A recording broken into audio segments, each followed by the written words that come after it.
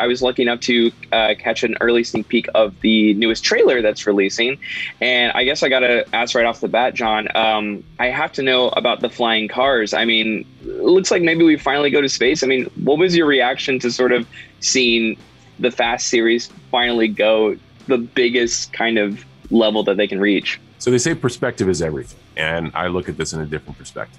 I think the success of the Fast films is commitment to family storyline, uh, embracing diversity, delivering all the qualities of an over the top blockbuster, and the last one, most importantly, not taking itself too seriously.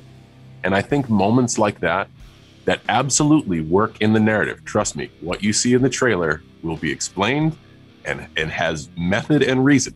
But that's one of those moments, and Fast does it so well where they they wink at the camera without winking at the camera.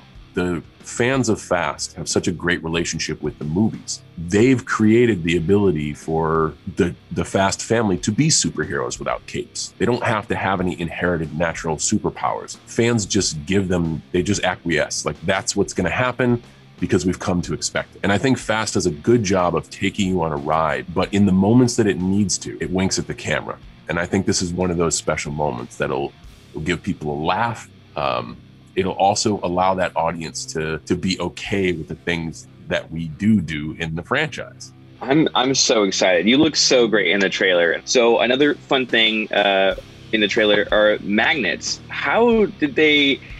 Because we we know that Fast is famous for practical effects. Like, what was what? Do you have? Did you have sort of like a personal reaction to magnets? Like maybe as like a kid. So my best experience with magnets as a kid is making um, rather questionable terms off re- refrigerator magnets that uh, collected the alphabet or, or comprised the alphabet. But uh, I, I think it's a great explanation of how fast uses tech to drive narrative. It doesn't just use it for the for the fact that it exists. They always sit down and ask, "What's the story?" and then they ask what they haven't done, and then they ask what's possible, and then they ask what seems impossible, and they make the impossible possible. And I think just the fact that they even considered using magnetic polarity instead of bullets is really interesting. And it makes for a fun effect because it is something commonplace, something we see all the time. But make a really effing huge one.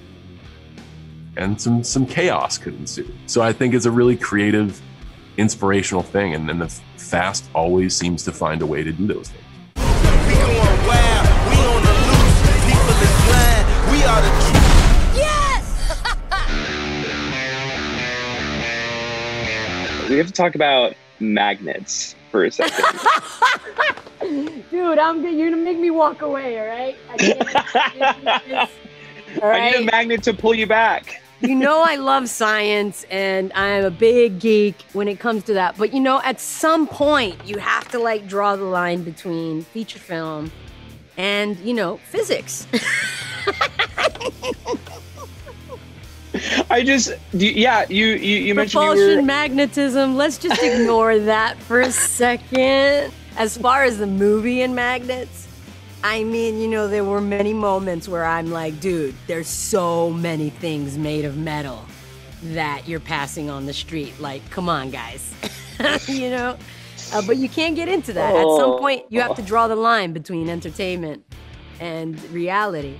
And that was the one thing that I think happened in the year 2000. It was a line that was drawn in the sand that that separated the 90s from the 2000s and it was this line that you're supposed to cross where you're supposed to explain everything in sheer utter detail so that there is no possibility of of you know the suspension of belief not you know being broken and so when this happened, it's like you know, it was the end of the Rambo's. It was the end of the of the you know of the um, uh, of those of those amazing movies, uh, Lethal Weapon. You know, where like there, there'll be a moving house and a fight inside the moving house, or the car crashes through the building and lands on the highway. yeah. I mean, I- those days were pretty much over. But Fast and Furious kind of dances that line between the 1990s and today and we're the only ones allowed to straddle that line without being completely rejected. I don't know if it's because we make fun of ourselves or because we kind of smile the whole way through. But for some reason, people let us get away with some shit that they really would not let anybody else get away with. and you know what? I accept that. I'm cool with it.